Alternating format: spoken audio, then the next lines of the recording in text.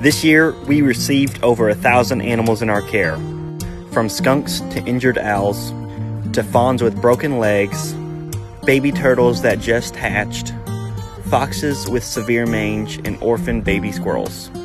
We re-nested multiple birds of prey and released 18 deer back into the wild.